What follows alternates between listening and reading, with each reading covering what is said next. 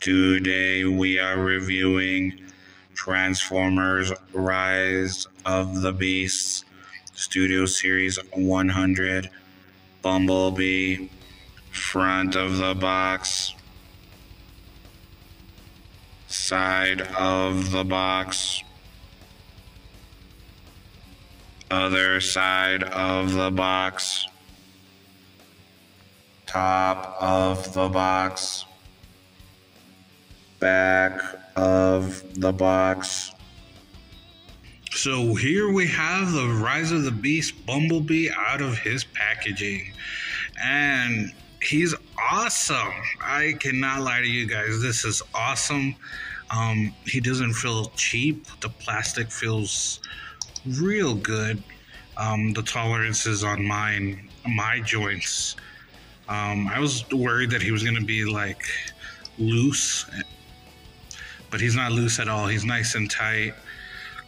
Uh, the only downside that I see immediately is the lack of paint. The yeah, the yellow that they used here is very beautiful. It it pops a lot compared to um, the prior bumblebees. So look, check this this yellow out. This yellow is just slightly darker, and then UB is a lot brighter. And then, of course, this bumblebee is more, it's closer to orange than it is um, yellow. Um, as far as articulation, you know what? I'm not going to go through articulation. It's the standard articulation. Um, the only real downside is you got nothing at the wrist because of the way this is uh, molded. So you got no wrist articulation, and the the molding here, it's just to here, it's just to hold blasters. But the previous B was like that, bend at the elbow, all the stuff you would expect articulation wise. But the big downer is the lack of paint other than that, it's a beautiful figure, if you ask me. Um, I would love to see this in a premium finish. Now, for accessories, he does come with this cannon and this blade, and unfortunately, they're not painted.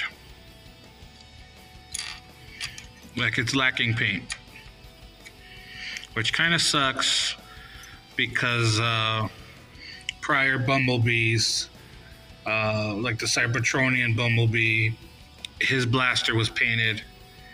So I would have expected it to be painted, but yeah, there you go. Non painted. He has a blade and he has that cannon. Here's B with the cannon equipped. And here's B with the blade equipped. Okay, so here we have B in his bot and his bot mode with the original um, Michael Bay Bumblebee and then the Cybertronian Bumblebee from the Bumblebee movie. Man, how many times I said Bumblebee? But yeah, as you can see, he's a bit taller than the Cybertronian B and a bit shorter than the Michael Bay first B. And uh, design wise, he takes a lot of design cues, I think, from a little bit of both uh, of the designs of the Bumblebees. Um, as you can see, he has the wings and the wheels uh, pretty much the same uh, design wise as the Transformers 1 Bumblebee, and then the bottom of his feet look more like uh, the Cybertronian Bumblebee or the Jeep Bee, I mean.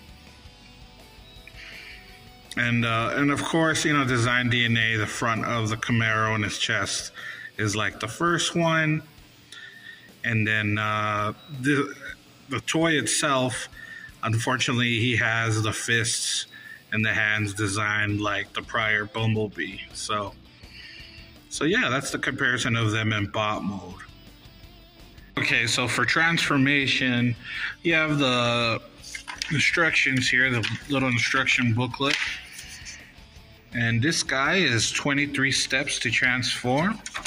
Uh, but honestly, I found his transformation to be intuitive enough, easy enough that I don't think you really need the instructions to transform him. And he definitely is a lot easier to transform than that original Michael Bay um, Bumblebee. That thing's a nightmare to clip together.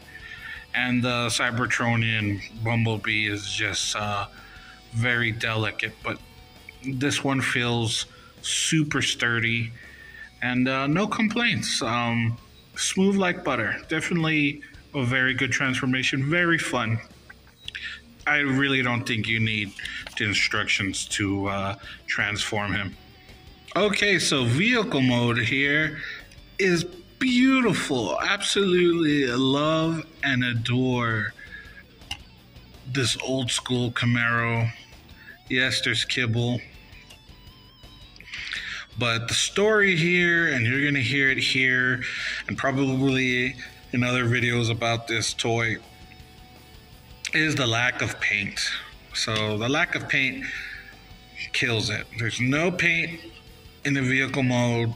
There's no paint in the robot mode. There's no paint in the weapons. But other than that, the actual scope, the the scope, uh, sculpt is very good. This is unmistakably a Camaro that looks um, to be done off-road style. A little Mad Ma- little Mad Max and it's absolutely gorgeous. Just needs paint apps. That's the main story with this figure is just paint apps. It needs paint apps, and uh, everything for the most part, all the panels click together. Very easy transformation. But yeah, cool, cool vehicle mode.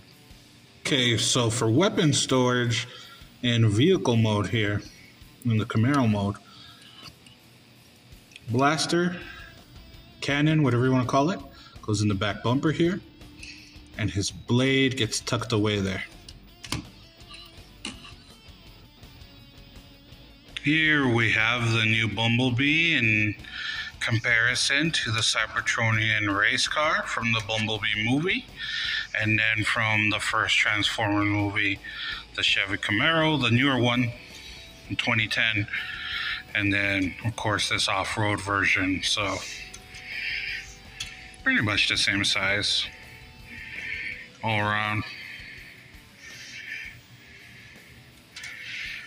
Definitely the easiest transformation out of these three this one's the hardest this one the panels hardly clicking together i hate its vehicle mode but i love its robot mode this one's just delicate. This one just feels like it'll break if you do if you tap in with too much pressure.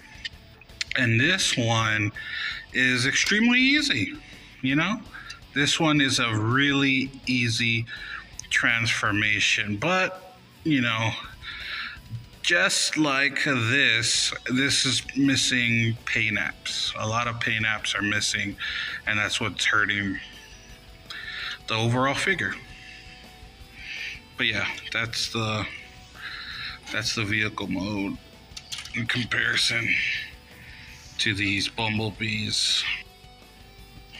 Okay, so final thoughts. Overall, just to get straight to it, figure is awesome. The transformation is easy, it's fun, it's intuitive, it's not a nightmare.